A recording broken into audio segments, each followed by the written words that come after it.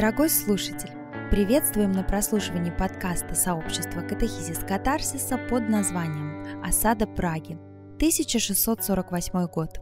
Автор Дмитрий Хандога читает Маргарита Аксенова. Присаживайся поудобнее, мы начинаем.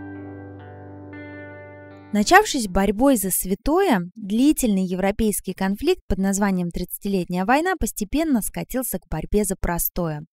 Ну а вступление католической Франции в коалиции с протестантской Швецией в 1635 году против тогдашних главных ревнителей латинской веры Габсбургов тому явное подтверждение.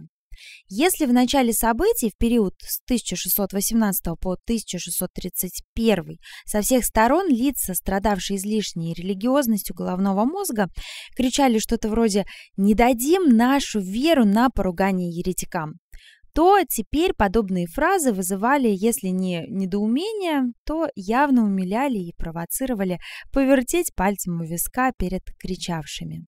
Если же брать духовный аспект, то католики поняли, что единственным салоном связи им уже не быть, и что начинается эпоха серьезной религиозной конкуренции и сотрудничества.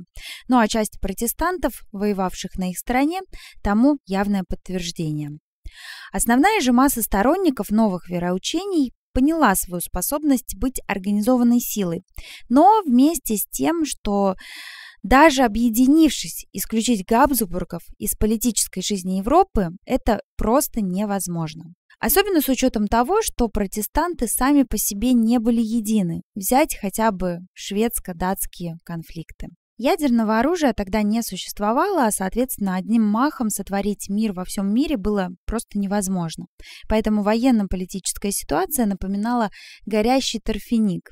Там полыхает, там задымит, но главное, никто не знает, как потушить и потушится ли. В общем, уважаемые слушатели, вы поняли, что к 1648 году 30-летняя война переросла в фазу «как же ты всем надоела». Однако пойти на попятную ни одна из сторон не собиралась. Да и перемирия заключались, но толку-то. С переменным успехом стороны продолжали друг друга обнулять. Шведская армия под командованием генерала кавалерии Ганса Кристофа фон Кёнигсмарка, видимо, решив э, тряхнуть стариной и вспомнив времена его величества Густава II Адольфа, летом 1648 вступила в Богемию. Надо сказать, что было это далеко не просто так. Всему событию ранее предшествовала победа шведской армии Карла Густава Врангеля в битве при Цус-Марсхаузене, а это в Баварии. Ну и, собственно, ободренные успехами северяне двинулись учить жить чехов и немцев в надежде на то, что император Священной Римской империи Фердинанд III пойдет на уступки и, как итог, возможно, заключит мир. Однако успех Штука переменчивая, о чем говорила неудачная осада шведами Брно. Итак, в середине июля месяца Кёнигсмарк подошел к Праге, и в начале славных дел ему очень даже сопутствовала удача. Ну, во-первых, его там никто не ждал, во-вторых, в городе шли народные гуляния по случаю свадьбы любимого императора, и служебная адекватность на время покинула солдат гарнизона. Спохватились они только тогда, когда шведы уже приступили к грабежам и насилию. Ну, тут отдадим должное свеям, они ситуацию оценили правильно, в кавычках. Вместо того, чтобы развить успех внезапности, тут же начали грабежи по принципу «война подождет» или «как же так, был в Праге и ни одного сувенира не привез». А ведь как бы это цинично ни звучало, но по-своему они все-таки, наверное, были правы. Простой солдат не знал, когда закончится война и какое это по периодичности или счету сражения, поэтому отрывался как мог. «Совесть?» – спросите вы. «Ну, не знаю, вот представьте себе. Ребят, меня убьют, может, завтра. И да, забыл сказать, я очень голоден. Мне не платили жалования, бог знает сколько. Моя жена осталась в Швеции, а я тут. По лесам, по полям, лугам. Который год скачу. Представили себе? В общем, пока у шведов в западной части города вовсю шла вечеринка, Прожане, понимая, что если не вызвать полицию, то северяне продолжат в том же духе и в других частях города, В общем, собрали они под ружье всех, кого только можно. Остатки деморализованного гарнизона, студентов университета, крестьян, инвалидов, в общем-то, всех. Дальнейшую оборону возглавил комендант Праги Рудольф фон Колоредо. Ганс Кристоф фон Кёнигсмарк, любуясь цифрой 12 миллионов гульденов, а также предметами искусства, добытыми его доблестными воинами, в душе плюнул на неспособность своего войска сладить с собой и, приказав вести все это добро в Швецию, приступил к осаде. Благо, подошедший в конце июля на усиление осаждавшим генерал Арвид Виттенберг осадные орудия с собой притащил.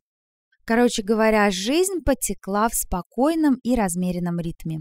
Шведы продолжали лениво грабить все, что было вокруг, и нетолерантно обстреливать осаждаемых. Ну а те, в свою очередь, закрепившись на своих позициях, мечтали о подвиге и светлом будущем.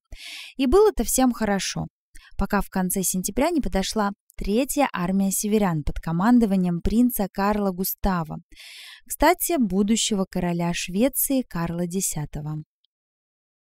Ну, смотрите, разные источники пишут по-разному. Цифра объединенного шведского войска колеблется от 12 до 14 тысяч человек против около 3 тысяч защитников.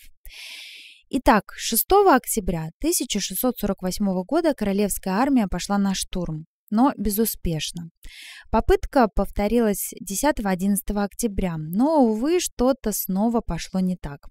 В чистом поле, естественно, победа была бы на стороне северян, но в городских условиях, особенно если твой противник может грамотно распорядиться малыми силами в обороне, становится все не так-то однозначно. Ибо прожане дрались остервенело, защищая своих жен, детей и имущество от шведского покровительства. В день подписания мира, а именно 24 октября 1648 года, принц Карл вновь повел армию на штурм и даже смог ворваться в одну из обороняемых частей города. Но защитники, даже находясь на пределе своих сил и ресурсов, все же отбили и эту атаку. И тут Рудольф фон Колоредо, понимая, что долго так держаться он не сможет, так как запасы пороха фактически истощились, боевой дух ополчения гарнизона постепенно падает, решил навести мосты с противником на тему почетной капитуляции. Ну, естественно, без грабежей, убийств и прочих сладких моментов тех времен.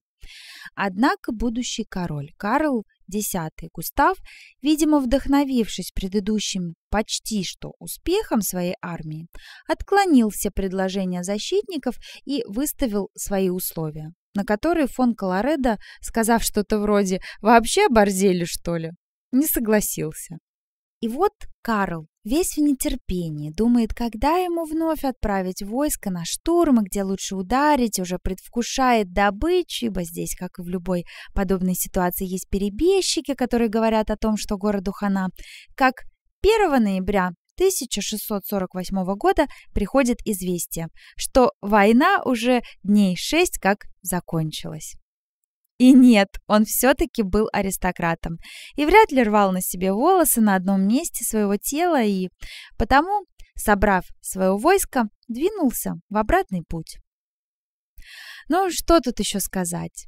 Рудольф фон Колоредо станет фельдмаршалом, получит мешок благодарности от императора Фердинанда и умрет в 1657 году в возрасте 72 лет.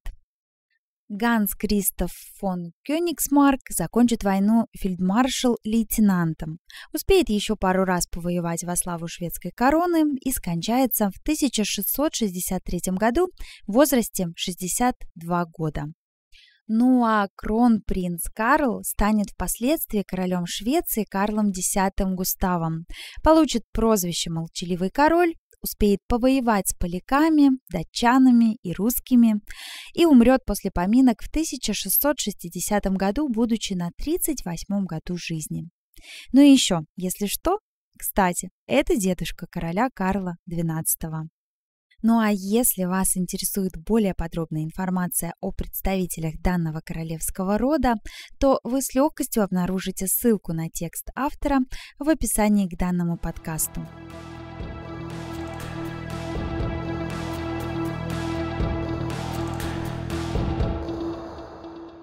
Ну а мы благодарим вас за прослушивание очередного подкаста сообщества Катехизис Катарсиса.